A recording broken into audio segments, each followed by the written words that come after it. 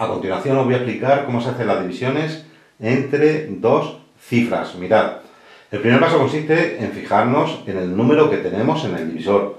Como es el número 32, seguidamente nos vamos al dividendo y vamos a cortar o separar el primer número igual o mayor que 32. El 10 es menor.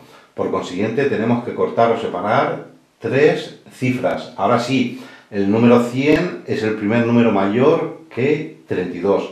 A continuación vamos a tapar la cifra de la derecha del divisor, el 2. De tal forma que siempre en todas las divisiones vais a tener como referencia la cifra de la izquierda de dicho divisor, la que está junto a este ángulo recto. En esta división es el número 3, pero a la vez, al mismo tiempo, vamos a tapar la cifra de la derecha del número que hemos cortado en el dividendo. O sea, del 100 tapamos el 0, la unidad, y del 32 tapamos el 2, la unidad también. Vamos a hacerlo. Tapamos y tapamos. Y ahora decimos, la tabla del 3 de este número que tenemos como referencia, cuyo resultado de 10, este número que ha quedado al descubierto destapado y no se pase. Se tiene que aproximar sin pasarse. Va a ser 3 por 3, 9. Porque 3 por 4 son 12, nos pasamos de 10. Pues bien, el número que nos ha cuadrado, el 3, lo escribimos aquí en el cociente. Y a continuación lo multiplicamos por 2 y por 3. Y el resultado de esa multiplicación, o sea, de multiplicar 3 por 32, se lo restamos al número que hemos cortado en el dividendo. O sea, se lo restamos a 100. Pero la resta la vamos a hacer directamente de cabeza, sin escribir el sustraendo. Venga, 3 por 2, 6. Y aquí tengo un 0. ¿A cuánto tengo que subir? Lógicamente tengo que llegar al número 10, ya que hay que subir a la decena inmediatamente posterior, de más arriba. En la solución de la recta no puede haber un número mayor de 9, con lo cual no podemos subir a 20, a 30, a 40, etc. Vuelvo a repetir. 3 por 2, 6, hasta 10. Voy a escribir aquí el 10 para que lo veáis bien. Tenemos que subir a 10. Este 0, la unidad, sería este 0.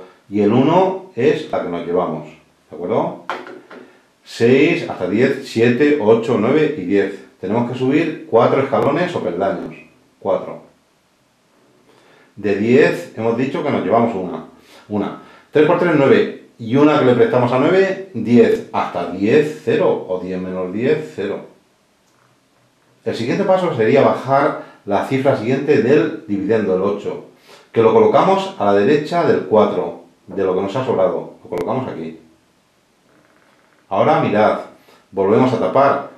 Tapamos el 8 y tapamos el 2, aunque se ve claramente que cabe a una. La tabla del 3 que se acerca al 4 y no se pase. 3 por 1, porque 3 por 2 son 6, nos pasamos a 1. Y ahora, 1 por 2 es 2, hasta 8, 6. 3, 4, 5, 6, 7 y 8. Tenemos que subir 6 escalones o peldaños. No nos llevamos ninguna porque no hemos pasado de 10 o más. 1 por 3, 3, hasta 4, 1. 3 y 4. Subimos un escalón. Y por último bajamos la cifra siguiente del dividendo, el 6, que lo colocamos a la derecha del 16, aquí. Y volvemos a tapar del 166 el 6 y del 32 el 2. Si os dais cuenta, el 3 siempre queda como referencia. Por eso es la cifra más importante en esta división, bueno, y en todas. La que está pegada a este ángulo recto. Vuelvo a repetir. Y ahora la tabla del 3, que se acerque a 16 y no se pase. Va a ser 3 por 5, 15. A 5. Ahora sí. Mirad, 5 por 2, 10, hasta 16, 6, 11, 12, 13, 14, 15 y 16. Subimos 6 escalones o peldaños.